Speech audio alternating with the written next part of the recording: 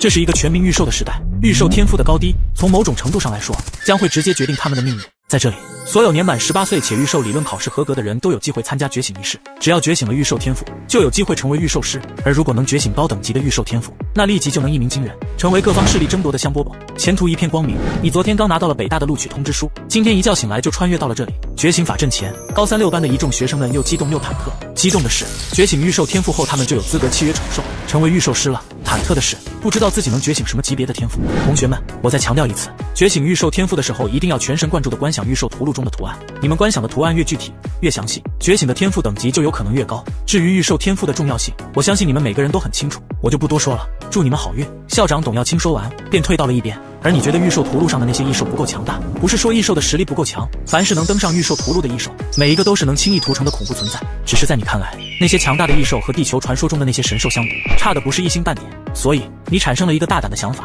觉醒是观想地球的神兽，甚至已经想好了观想的对象——龙，炎黄子孙，龙的传人。对你来说，简直没有比这更合适的观想对象了。但显而易见，这么做有巨大的风险，因为这个世界压根没有龙这种生物，甚至连相关的传说也没有。而观想一种预售图录上没有的生物，这会有什么后果，谁也不知道。万一因此导致觉醒失败，那可就得不偿失了。但此时觉醒仪式马上就要开始了，你已经没时间犹豫了，只能放手一搏。周俊，F 级天赋。看着法阵上的红色光芒，负责觉醒仪式的教导主任平静宣布：“哎。”周俊满脸失望地走下了祭坛。预售天赋从低到高分为 F、E、D、C、B、A、F、S、S、S、S、S 九个等级，F 是最低级，也是最常见的天赋。觉醒的 F 级天赋只是意味着他有资格成为预售师而已。下一个，林墨，听到名字，你快步上前，站在了法阵中央，你可以开始观想了。切记一定要专注，不能有丝毫分心。教导主任再次提醒你，点了点头，深吸一口气，然后缓缓闭上了眼睛。你的脑中一条巨龙的身影开始缓缓浮现。在地球的神话传说中，龙也分很多种。应龙、囚龙、赤龙、青龙等等，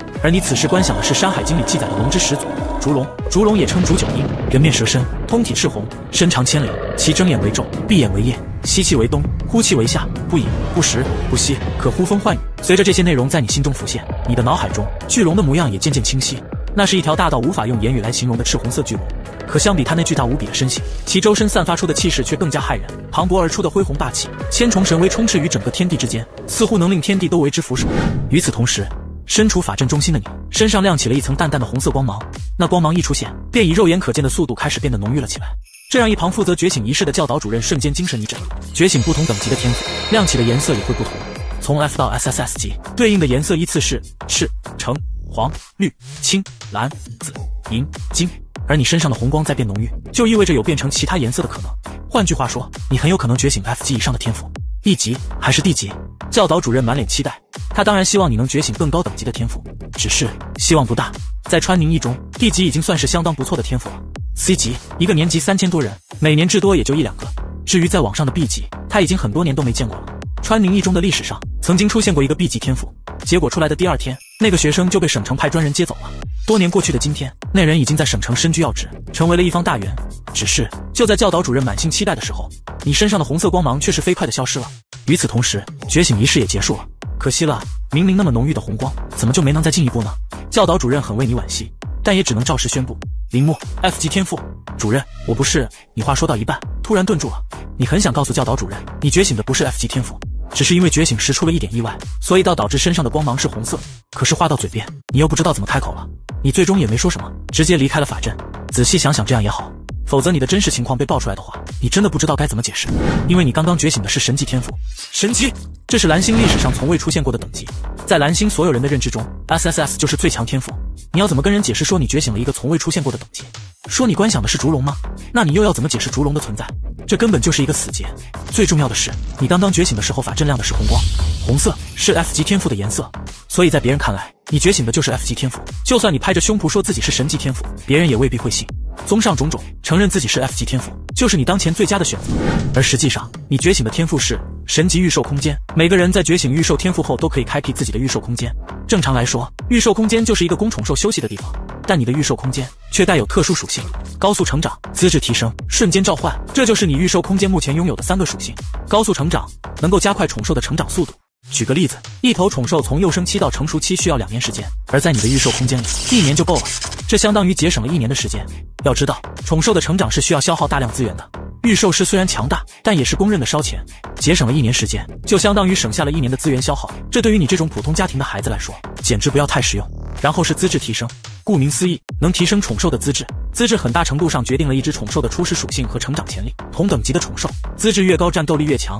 正常情况下，宠兽的资质是很难提升的，而你的预售空间却能不断的提升宠兽资质。换句话说，只要给你足够的时间和资源，你能把所有宠兽的资质都提升到神话级。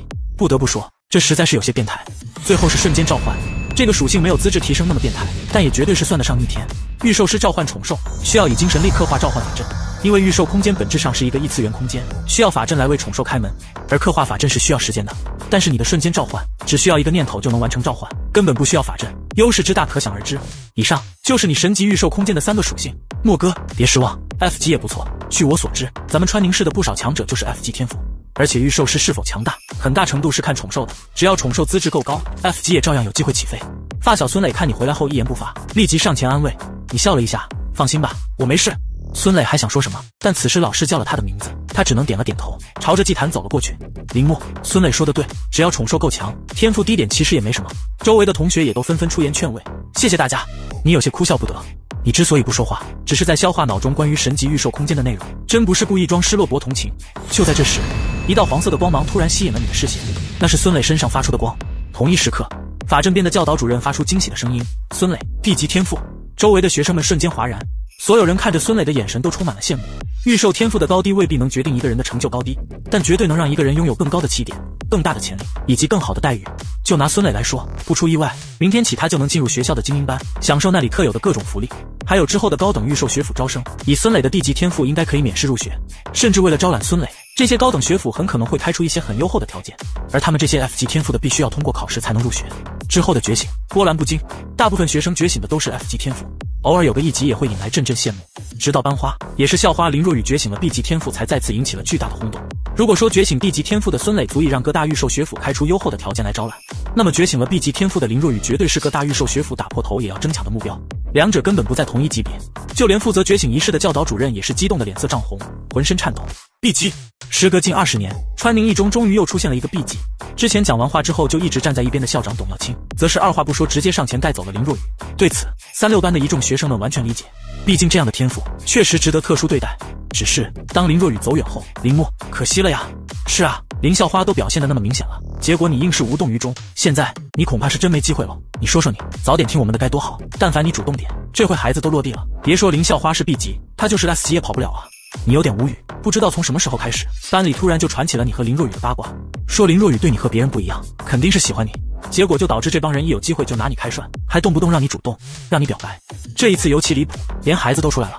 莫哥，要不你现在去表个白？孙磊一只手搭在你肩上，以林校花对你那态度，我觉得你成功的概率还是蛮高的。滚蛋！你翻了一个白眼，懒得理他们。又过了一会，所有人全部觉醒结束，教导主任这才转向众人。现在你们可以通过冥想来开辟自己的预售空间了，我会为你们护法。闻言，一众学生们立即盘膝而坐，开始冥想。这一刻，他们已经期盼许久了。你也是如此，你很期待你的神级预售空间到底会是什么样子的。